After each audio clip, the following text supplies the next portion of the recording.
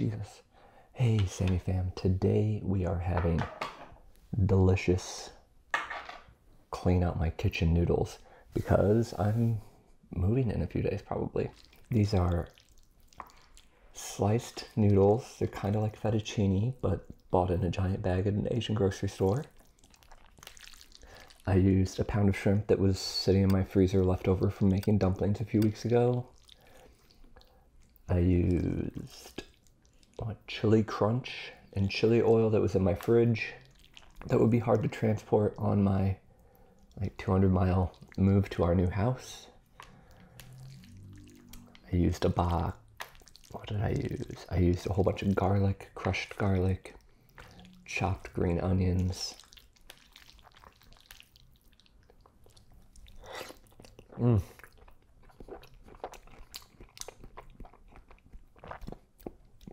I used a lobster, um, condensed lobster bouillon uh, from Better Than Bouillon to give it a real seafood flavor. So good. Cooking wine, Chinese cooking wine. Um, I just grabbed everything and put it in this, didn't I? Some Chinese black vinegar, some rice vinegar. Mm. Wow, it's so creamy.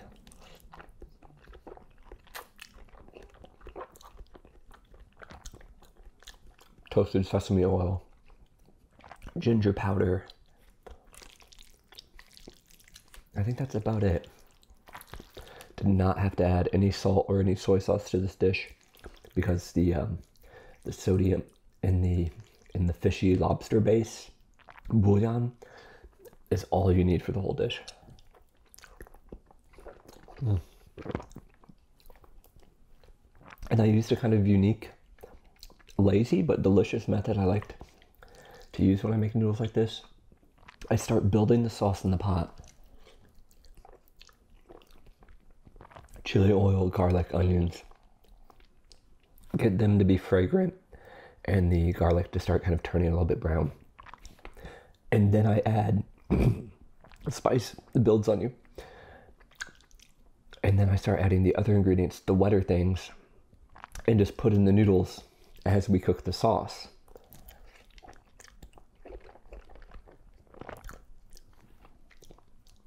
So as the noodle releases starch, it thickens the sauce naturally. And I can add a little bit of water as I go. You can see if it needs a little bit more, if it needs to get that glossy look to it.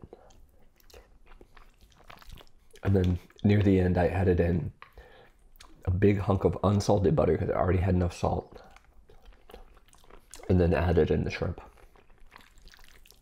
Right as I took it off the heat, because the heat of all this pasta cooks the shrimp. And man, that worked out. I was nervous about just making something kind of by the seat of my pants today.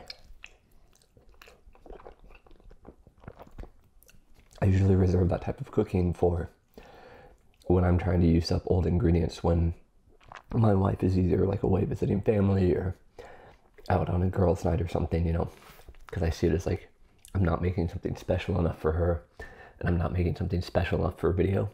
But this tastes so freaking good. And it's super comforting and warm on a fall day. Wow. I do need some water though.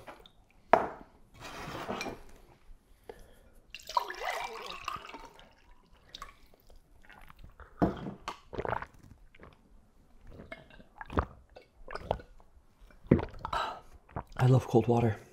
That's my favorite beverage. Well, if you guys haven't been staying tuned, and I understand we're all busy, um, but I am moving out of this place, this apartment that I've lived in for like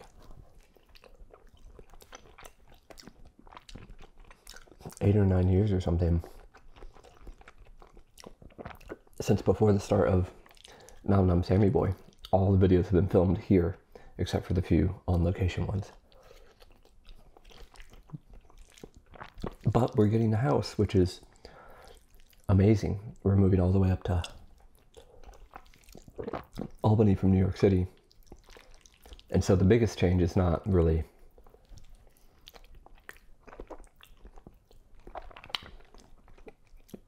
apartment to house, it's apartment to it's New York City to Albany, which is going to be a huge difference, but it'll be a fun adventure.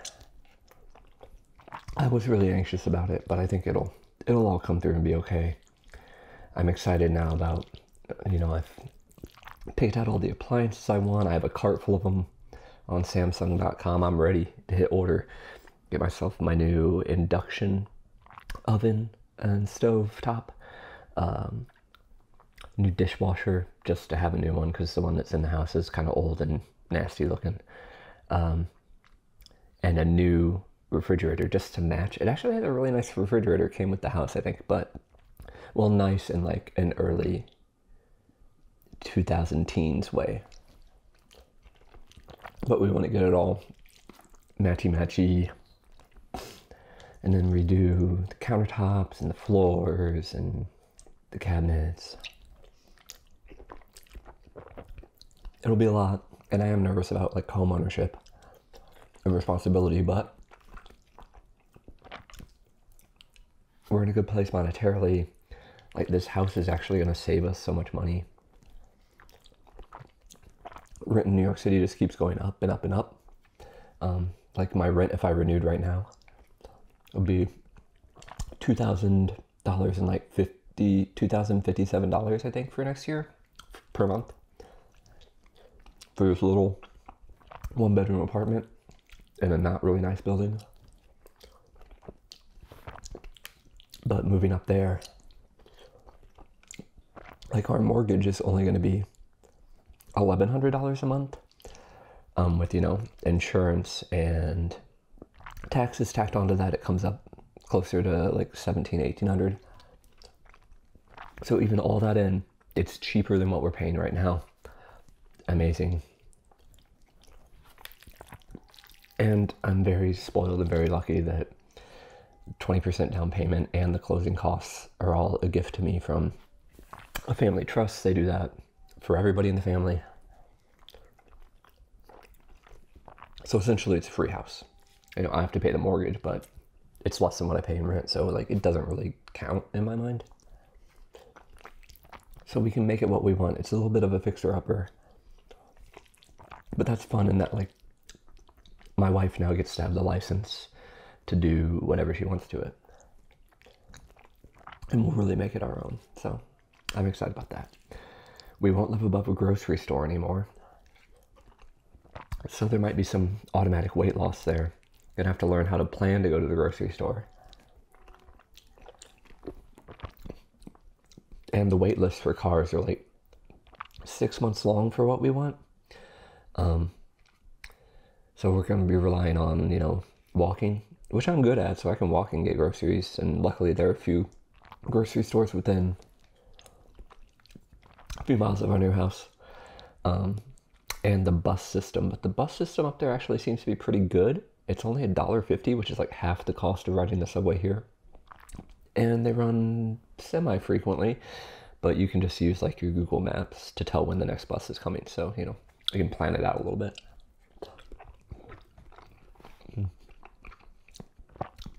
But so I've been kind of on edge about the whole thing, but I think it'll go well. That's what I keep telling myself. But I need to try to eat as much as I can in this kitchen so I don't have to take too much with us, especially from the refrigerator. As I don't think it would survive the journey. That's why I'm eating these shrimps. That's why tomorrow I have some falafel that I made. God, when did I make that falafel? I made it.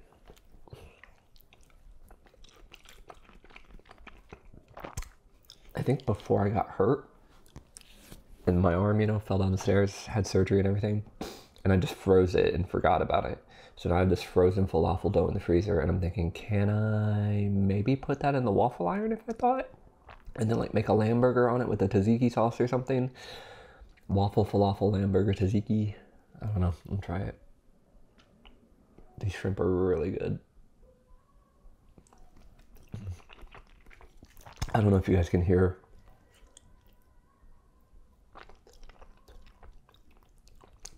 the woman hollering in the background. Um, it's a lady who's lived below me for about a year. It'll be nice to get away from her. It'll be nice if you have noticed the planes flying over me in videos. It'll be nice to get away from that because sometimes they come like every 30 seconds because I'm on the uh, landing path for LaGuardia Airport, one of you know the busiest airports in the United States, if not the world. So there'll be a lot of side benefits for production of videos and just peace of mind. And one thing I'm really excited about, and one the things I need to order like right away when we close, is I'm gonna have a yard. Like I'm in a pretty big yard, um, so I can grill. I've been watching grilling videos. I've been researching. I'm so ready. I'm so ready to be like grilling steaks and making chimichurri sauce and making tacos and doing shrimp skewers and veggie skewers and grilled pizza. I was looking at grills and I decided, you know, you could go all out right at, at first and buy, like, you know, the $3,000 big green egg. But I figured I have not grilled since I was a wee young lad. I don't want to spend $3,000 on a grill right off the gate when I don't know what I'm doing. So, I'm going to take a low end, but not all the way low end route. I'm going to get a Weber kettle, but the like the top of the line Weber kettle, which is still only like 300 bucks, but it comes with a lot of nice little features that make it easier to use.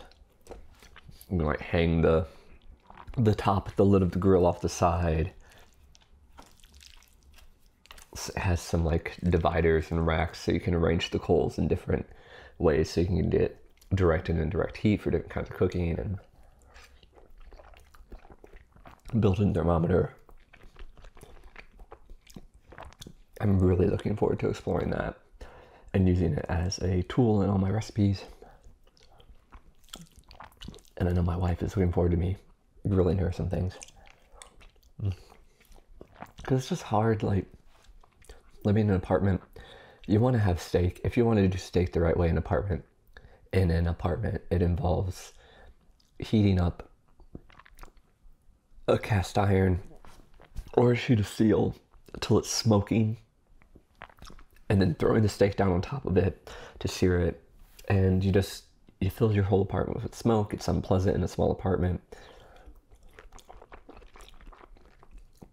My wife has kind of sensitive like tear ducts for that kind of thing. Um, and her nose is just way stronger than mine.